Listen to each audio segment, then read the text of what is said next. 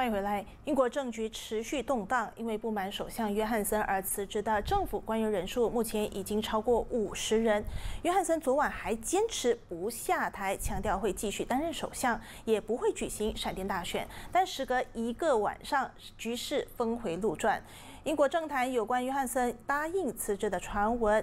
甚嚣尘上，甚至有唐宁街的消息人士透露，约翰森会在当地时间星期四中午，也就是大马时间傍晚七点左右，对外宣布辞职。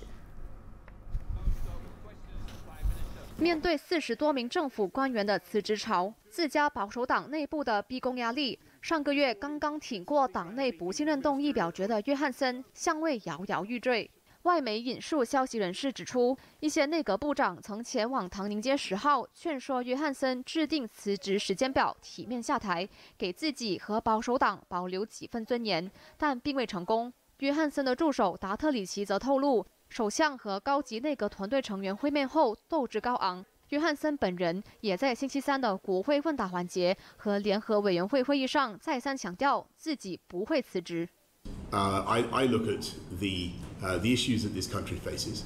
Uh, I look at the, um, the, the, pressures that people are, are under and the need for government to focus on, the, on, on, on their priorities, uh, which is what we are doing. I look at the biggest war in Europe for, for 80 years, and I cannot for the life of me see how it is responsible just to, to walk away from that.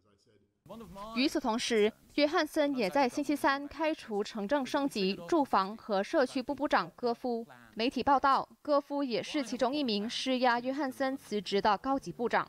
另外，英格兰及威尔士总检察长布雷弗曼同样呼吁约翰森下台，但拒绝加入辞职潮，扬言如果保守党要遴选出新的首相人选，他将会参选。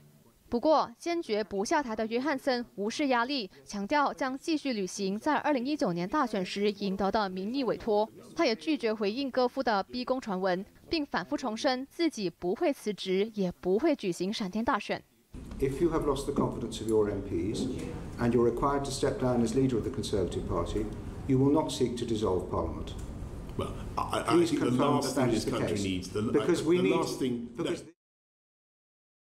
not going to step down, and the last thing this country needs, frankly, is election. On the contrary, I think the, the, the, the risk is the risk is uh, that uh, people continue to focus on uh, this type of thing, and I think that is a mistake. what we need to do and how is, would it help? get on with stable. How would it help the crisis in Ukraine and the cost of living crisis if we were plunged into a ele general election that nobody I, wants? But this is what this is your. I, I, this is your fancy. Well, then, I, I think then rule it out.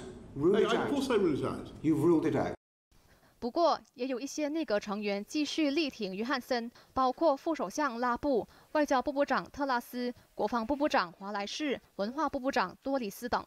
另外，英国媒体报道指保守党可能会修改党规，废除一年只能对首相提成一次不信任动议的规则。一旦成功，约翰森最快将在下个星期就再次面临党内的弹劾。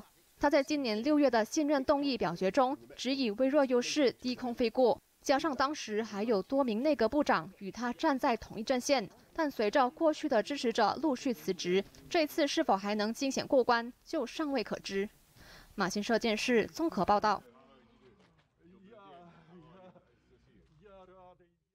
尽管约翰森昨天坚持不退位，要继续履行选民在二零一九年的委托，然而当地时间星期四早上，官媒英国广播公司 BBC 就撰文引述唐宁街的消息，指约翰森在早上八点半，也就是大马时间中午三点三十分左右，已经向党内的国会委员会承诺辞去保守党领袖的职位，但希望可以持续担任首相直到秋季的党大会，再交棒给党内遴选出的。新任保守党领袖，但是多名保守党领袖都不赞同这一项建议，希望约翰森立即离任，并由其他人选暂代首相一职。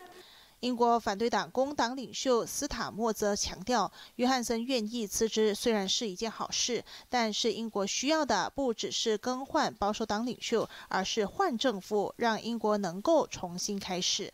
马新社电视综合报道。